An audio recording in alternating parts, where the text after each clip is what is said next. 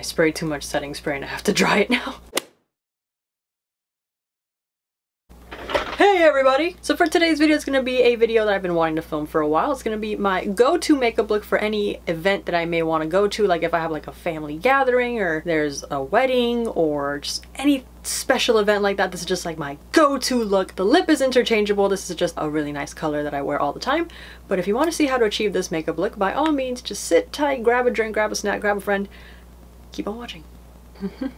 so I've been doing this new thing where I fill in my eyebrows before I do anything else. It's actually pretty convenient. I don't know why I didn't do it before. I saw that Desi Perkins made a video about her eyebrow routine. Excuse me, I'm adjusting myself. And she said that if you do your eyebrows before the foundation, you have less chance of like your eyebrows slipping and sliding like your foundation. I'm like, that makes sense. Let's get started anyway. I already primed my face with the Becca Backlight Primer. That's like my jam. I haven't been using anything else. We're doing a full face today, guys. Mm, it's lit.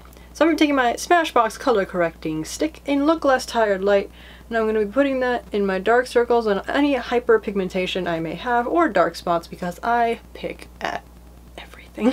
then using my ring finger, which is the gentlest finger, I'm going to blend everything out real nice so that we already have some coverage. I've been on a real full coverage uh, binge, what's it called? Uh, I don't know, I've just been having a full coverage moment. So I'm going to be using my Tarte Amazonian Clay Full Coverage Foundation. And I'm going to be mixing in a drop of argan oil because this foundation is matte as hell.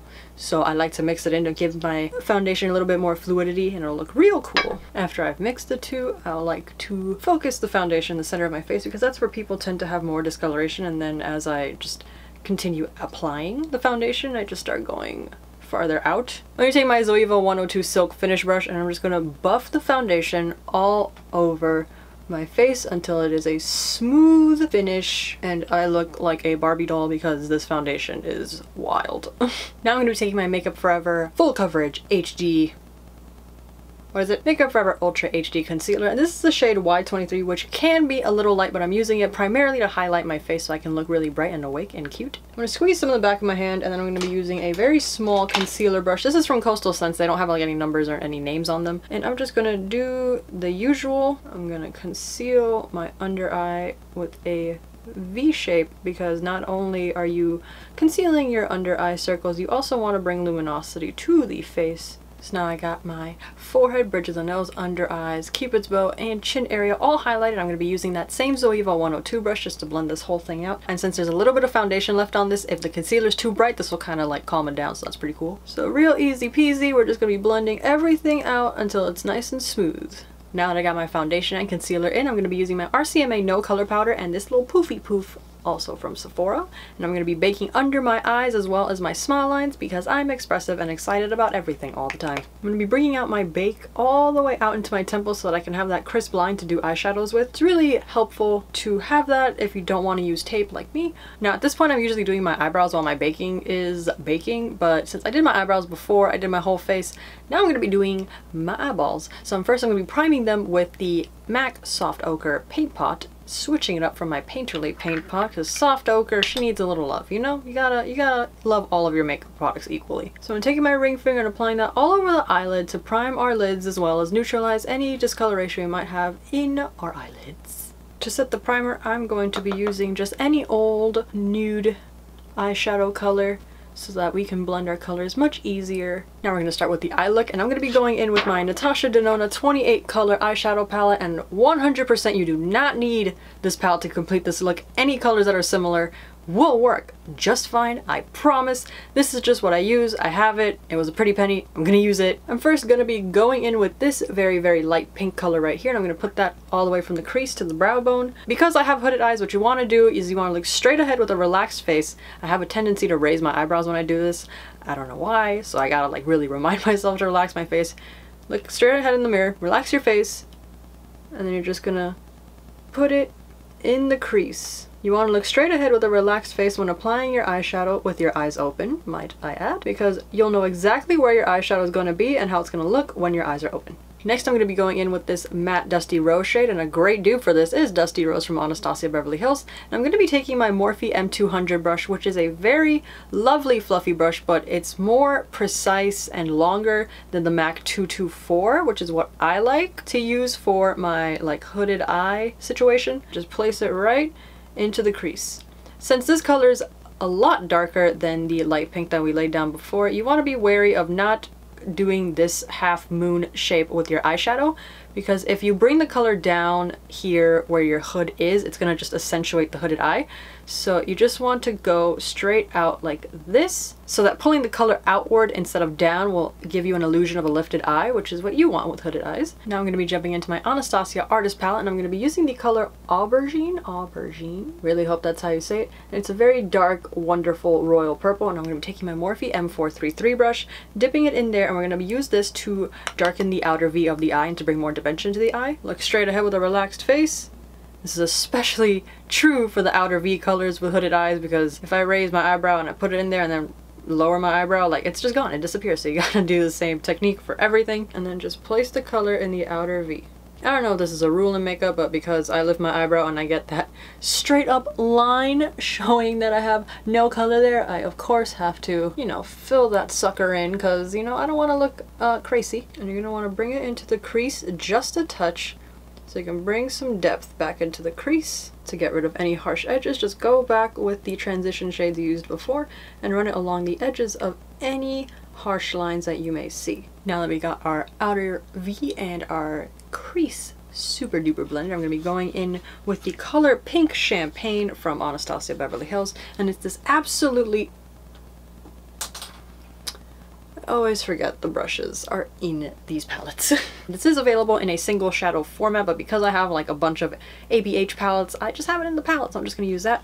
So for the ultimate color payoff, I'm just going to dip it in my ring finger, dip my ring finger in the color, and I'm going to place it on the bare area of the lid, and it's to bring a beautiful shimmer to our eyes and it's just to make our eyes pop. You can make the shimmer as intense or as toned down as you want. I want to glow today so I'm to do so much glitter. We're to be blending the shimmer into the outer V darkness in a little bit, but we're just laying down the color for now. I'm going in with that dark purple aubergine color from ABH again. I'm to be using that to just gently blend the dark purple into the glitter so that it does not look very harsh and just add a little bit more intensity to the outer V. And I'm just very gently tapping that in. Now to highlight and to soften any more edges we may possibly have, I'm just going to be taking my MAC 224 one more time with just a bright nude color. It could be any nude color you want. It could even be translucent powder. There's always that one spot on my eye that just doesn't blend. Got it. Now that we've been baking our under eyes for as long as Frank Ocean has been lying to us, I'm going to be taking my E48 Morphe brush to just brush off the bake. And you see how when I brought the bake out like this, we just have that crisp line in the outer V and it's just oh so satisfying. I'm going to be taking the shade Levitation from the Kat Von D Shade and Light Contour Palette. And again, using my E48, I'm going to use that to bring even more brightness to my under eye area, as well as provide just a tad more coverage because I believe in full coverage. Now I'm going to be taking this middle contour shade from the same palette and I'm going to be using my good old, excuse me, Morphe, what? Zoeva 126 brush. It's my favorite brush for bronzing my face.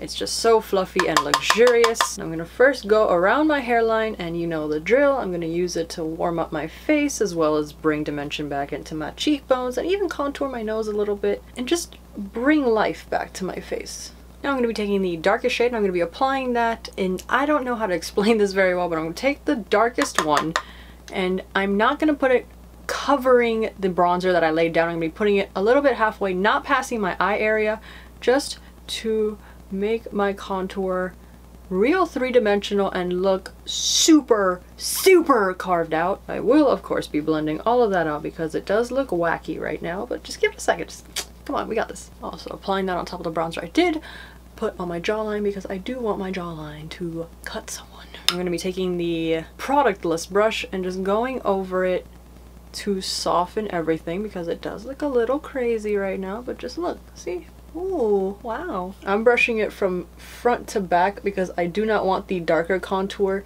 to just come into the lighter contour and just make it look muddy and gross. Going back to the eyes, I'm going to be taking the color Dusty Rose from ABH. I'm going to be running that on my lower lash line pretty far down because we're going to be putting that dark purple on top of it. So we just want that nice gradient effect with the eyes. And I'm going to zoom you in so you can see. Any old pencil brush will do.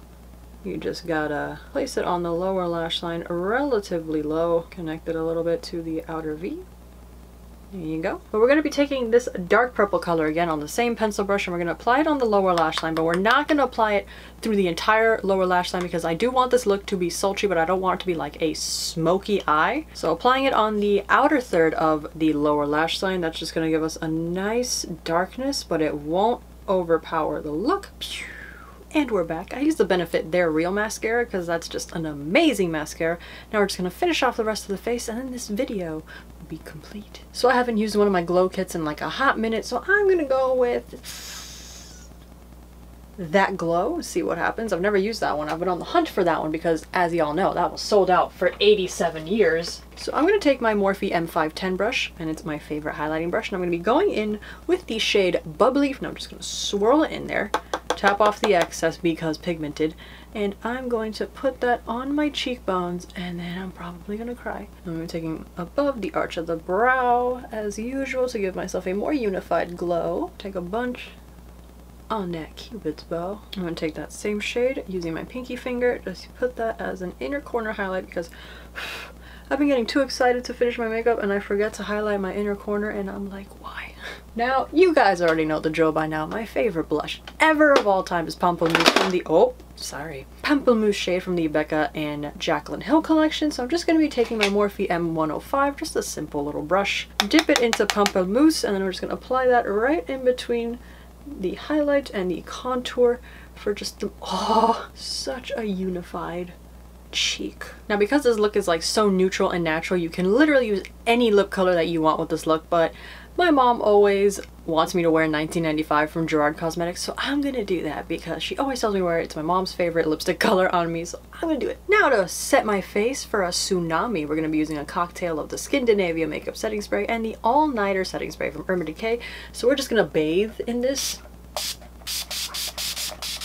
and that's my go-to makeup look for any event that I feel like going to. I really hope you enjoyed this video, and if you want to see more tutorials and vlogs and fun stuff like that, feel free to subscribe down below, and if you like this video, give it a thumbs up. It means so much to me. I make these videos for you, so I need you to let me know if you like them. I hope you guys have a great rest of your today, and I'll see you on the next video. Bye!